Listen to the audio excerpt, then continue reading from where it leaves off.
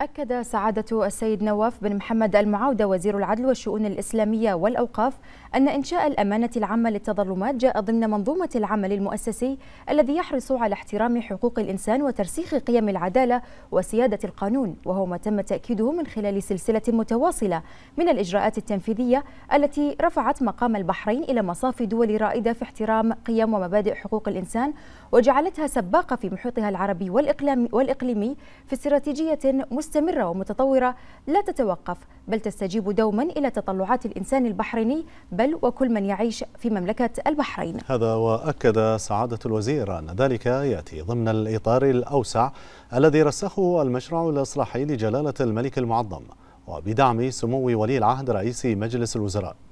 جاء ذلك خلال كلمة سعادته في حفل افتتاح المؤتمر الدولي الذي تنظمه الأمانة العامة للتظلمات بمناسبة الذكرى العاشرة على تدشينها. تحت عنوان فعالية أمناء التظلمات في العمل المؤسسي ودورهم في تعزيز احترام حقوق الإنسان. بحضور عدد من أصحاب المعالي والسعادة الوزراء ورؤساء أجهزة وهيئات حكومية وطنية بالإضافة إلى عدد من كبار الشخصيات من خارج مملكة البحرين. هذا وقد أعلنت الأمانة العامة للتظلمات أن تنظيم هذا المؤتمر جاء لتسليط الضوء على الريادة البحرينية في مجال عمل مؤسسات أمناء التظلمات كون الأمانة هي الأولى من نوعها ذات الاختصاص النوعي في المنطقة.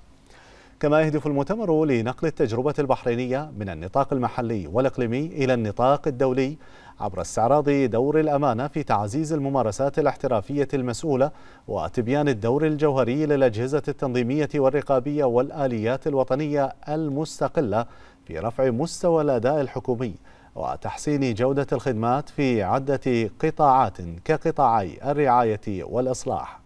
إضافة إلى التعريف بالدور البارز للشراكات الدولية وتبادل الخبرات عبر التعاون الإيجابي بين الأمانة العامة للتظلمات والجهات ذات العلاقة محليا ودوليا في مجال حقوق الإنسان والعدالة الإصلاحية.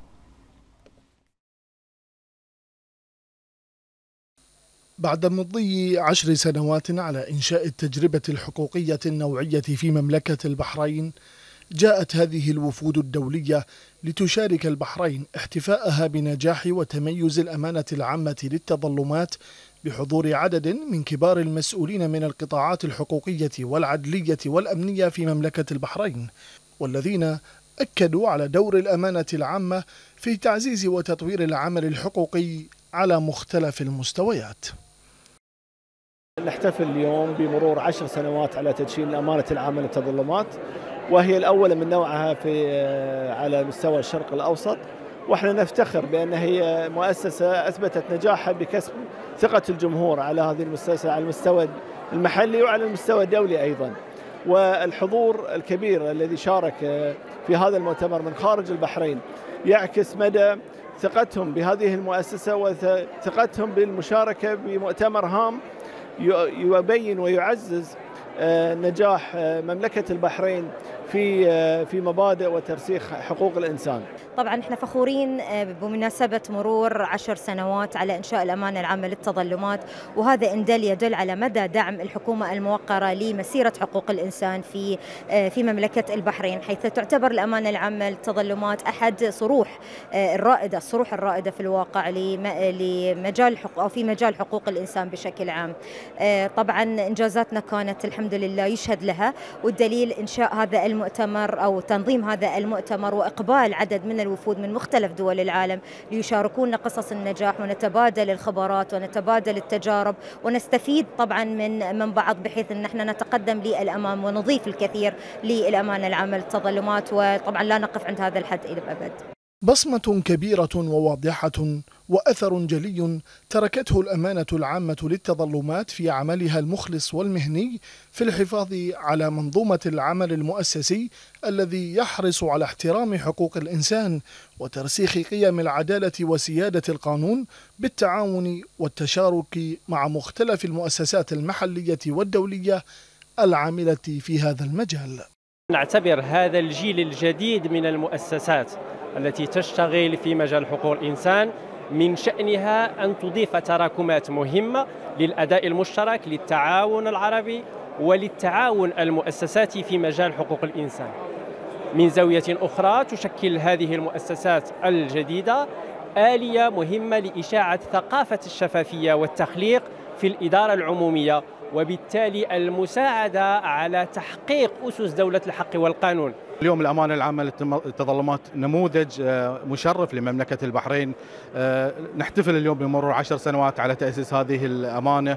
آه، وهذه الجهة اليوم الرقابية في مملكة البحرين. كانت بالفعل عشر سنوات من الحيادية عشر سنوات من الشفافية عشر سنوات من المصداقية عشر سنوات كسبت من خلالها ثقة الجمهور في مملكة البحرين وأصبحت اليوم الأمانة العامة للتظلمات بيت من بيوت حقوق الإنسان في مملكة البحرين.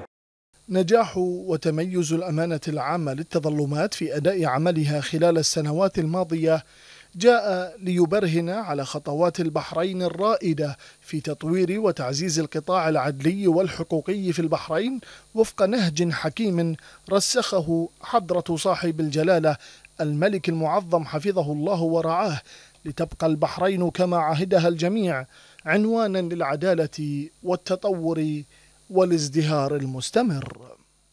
عشر سنوات من النجاح والتميز. حققت خلالها الأمانة العامة للتظلمات في مملكة البحرين قفزات نوعية في المجالات الحقوقية والقانونية التي يبحثها ويناقشها المشاركون في هذا المؤتمر بغية تطوير الخبرات وتبادلها والتوصل إلى حلول تسهم في تطوير العمل في هذا المجال المحوري. يحيى العمري لمركز الأخبار تلفزيون البحرين.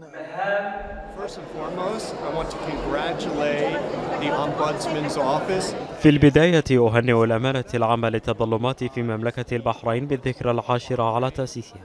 وأريد أن أؤكد أن هذه الفعالية في غاية الأهمية والتي تعكس تطور مملكة البحرين في هذا المجال والحرص على أداء الأمانة لواجبها على أكمل وجه. بتوجيه سام من صاحب الجلالة الملك المعظم ومتابعة معالي وزير الداخلية.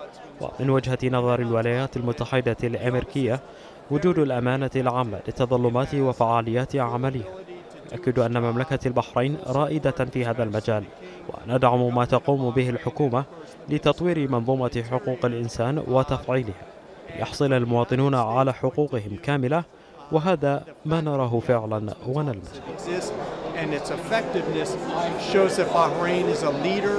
I would like to thank you for the invitation to participate in today's uh, conference. أشكركم على دعوتي للمشاركة في هذا المؤتمر. اليوم حيث يعد هذا المؤتمر في غاية الأهمية ويجمع الخبراء المختصين في مجال حقوق الإنسان من حول العالم لمناقشة تطوير عمل مكاتب وهيئات التظلمات بالإضافة إلى دورهم في تعزيز حقوق الإنسان.